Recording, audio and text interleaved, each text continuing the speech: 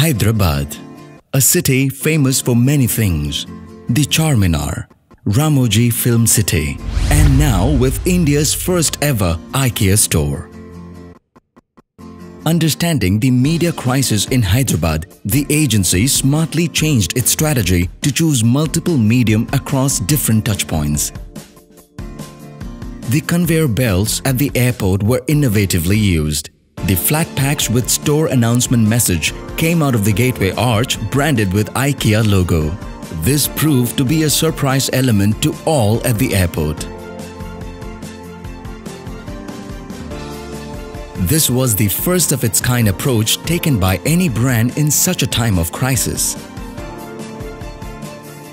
The remarkable idea caught the attention of many social media users and significant public figures who appreciated this marketing initiative on social media. This was our story, a story of setting a new standard in out-of-home marketing and promising the people of Hyderabad a wonderful every day with IKEA.